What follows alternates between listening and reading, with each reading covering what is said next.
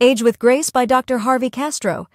You ever meet someone and you're like, wait, how old are they again? Like, they just seem so much younger, you know? That's what got me thinking about all this aging stuff and digging into this book, Aging 2.0 by Dr. Harvey Castro. It's a really fascinating look at aging, especially now that we're living longer and longer, right? It really is. And one of the things that really struck me early on is this whole idea of like chronological age versus biological age. Yeah, they're not always the same thing, are they? Definitely not. So for folks listening, chronological is, well, that's just the number, right? How many years you've racked up? Exactly.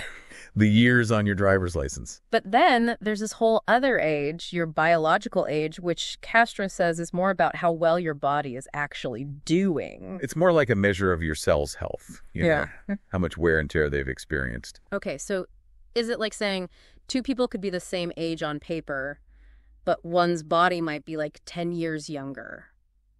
It's a good way to put it. Some people just age more gracefully than others. Right. Right. And their lifestyle choices often have a lot to do with it. Fascinating. So, what actually determines this biological age then? Is it just luck of the draw? Well, Dr. Castro gets into the nitty gritty of it all, you know, all the sciencey stuff happening at the cellular level. Things like telomere shortening, stem cell exhaustion, all these things play a role. Right. And those things sound kind of intimidating, you know, when you first hear them. Like, am I supposed to understand what those even are? Well, they're complex processes for sure. But the book does a really good job of breaking them down in a way that's easy to understand. It really does. Like, he compares telomeres to the plastic tips on your shoelaces, which I have to admit made me laugh. And it's a great analogy, right? Those tips protect the shoelace from fraying, just like telomeres protect our DNA when our cells divide. As they wear down, our cells can't replicate as well. Oh, I see. It's like the body's natural aging process in action. And what about stem cells? I hear a lot about those, but I'm not sure I totally get it. Think of stem cells like your body's own little repair crew. They can become any type of cell and help regenerate tissues, but over time they become less effective. So as we get older, our repair crew shrinks and they get a little slower at their jobs. Yeah, exactly. It's like anything else, right? Yeah. Things wear down. But, and this is important, the rate at which they wear down, that's not entirely out of our control. So what we do actually impacts how we age at the cellular level. Tell me more. Absolutely. And that's what's so empowering about this whole conversation, I think. It's not just about accepting aging. It's about understanding that we have a say in how it plays out. So it's not all bad news after all, huh? Not at all. There's a lot we can do to support healthy aging, and that's what Dr. Castro really emphasizes. I like that he doesn't just give vague advice like, eat your veggies. He actually explains why these things matter based on, you know, actual science. Right. He connects those cellular changes we were talking about to practical things we can do every day. Like what what were some of the things that stood out to you? Well, he has whole chapters on exercise and diet, of course. But honestly, the one that surprised me most was how much he emphasized hydration. Hydration, really. They I always feel like I hear about everything BUT drinking enough water these days. I know, right? But it's so crucial, especially as we get older. What's the connection with aging specifically? Well, did you know that our sense of thirst actually declines with age? Seriously.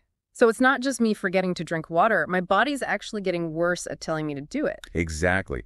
So we might be getting dehydrated without even realizing it, and that can have a big impact. Wow. Like what kind of impact are we talking? Oh, it can affect everything from your energy levels to your cognitive function. Even mild dehydration can make you feel sluggish and foggy. Okay.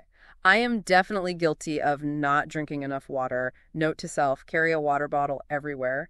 Anything else that you've already started doing differently after reading this? Let's see. Aside from upping my water intake, I've also been trying to prioritize sleep a bit more. Ah, sleep. The holy grail. Everyone's always telling us to get more sleep, but it's easier said than done, right? Tell me about it. But Dr. Castro really breaks down why it's so important, and not just for feeling rested. He explained how crucial it is for cellular repair and hormone balance. So when we don't get enough sleep, we're basically accelerating the aging process from the inside out. Kind of, yeah. He even calls sleep the ultimate rejuvenation hack, which I love. Okay, I'm sold. More sleep, more water. What else can we do to, you know, hack this whole aging thing? Well, that's where it gets really interesting because Dr. Castro doesn't stop at the usual lifestyle advice. Hmm. He also delves into the world of technology and how it's changing the game when it comes to aging. Okay, now that is fascinating. I think we need a whole other segment to unpack that because I have a feeling that's where things get really mind-blowing. Oh, absolutely. We're just scratching the surface here. All right, so we've covered how important things like staying hydrated and getting enough sleep are for aging well. But Dr. Castro doesn't stop there. He goes even further. He dives into all the incredible technological advancements that are already starting to change how we age. This is what I've been waiting for. It really is mind-blowing stuff. When I hear technology and aging, I think like those alert bracelets that'll call for help if grandma falls or something. Right, but it goes way beyond that. Dr. Castro is talking about technology that could actually help us prevent those falls in the first place. Exactly. He seems particularly excited about telemedicine. Telemedicine is going to revolutionize healthcare as we know it. I'll be honest, I always pictured those awkward video calls with my doctor. Sure, that's part of it, but it's so much bigger than that. What else is there? Imagine a world where you have access to the very best specialists no matter where you live. Okay, that makes sense. Imagine virtual support groups for any health concern you can think of, And all of that's right there on your computer. right at your fingertips. That would be incredible, especially as we get older and it might be harder to get around. It would be a game changer. And it's not just telemedicine, is it? Not even close. He also mentions AI. Artificial intelligence is already starting to play a huge role in healthcare. He even talks about using ChatGPT for health coaching. Can you imagine having a chatbot that helps you stay on track with your health goals? I'm not gonna lie, that sounds a little strange. It does, doesn't it? Like, I can barely get my smart speaker to play the right song half the time. I hear you. I'm not sure I'm ready to trust a chatbot with my health. It's understandable to be skeptical. But Dr. Castro makes a really compelling case. He explains how AI can analyze your health data, like from your Fitbit or your Apple Watch, even your genetic information. To create a personalized health plan. Exactly. It's like having a team of experts available to you 24 7. That would be amazing. It would be like having a personal trainer, a nutritionist, and a therapist all rolled into one. And this is all stuff that's happening right now. It's not science fiction, it's the future of aging.